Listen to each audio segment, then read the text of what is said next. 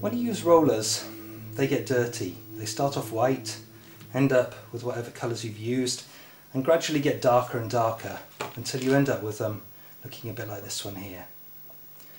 Now when they get caked in wax like this, they're quite difficult to use for conventional light things, but I found a great use for them if you rip the end off. So it's sort of got hard, but just rip this sponge end off and try and do it in a fairly random way. Some high points, some low points, like this. So that's the bit I've taken off. And now I've got a rough serrated sort of edge on here. And when I put that on the roller, instead of giving me a straight line, it's going to give a nice wobbly line.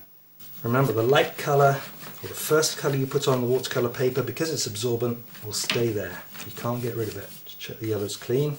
I've got some dirt on there then. nice rich yellow, sort of sunsetty sky. And I'm going to use a tissue pad to take a little bit of darker colour and work that into. You can put lighter colours back over it and that can save the day sometimes. I left myself enough room to move my roller up and down on this part of the hot plate.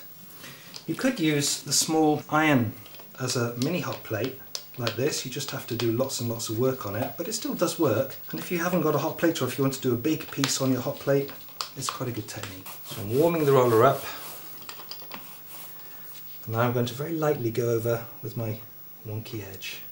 You can see straight away the nice effect that you get, a bit of darker colour. And as all the others have said, I think, you know, the darker colours bring the image forward. So darker the front, lighter for the more distant. A bit more water effect down here. shadow. And maybe for water, if we just do some like this. Finish off with the waves coming in at the front. And then just a little bit more rock in the foreground.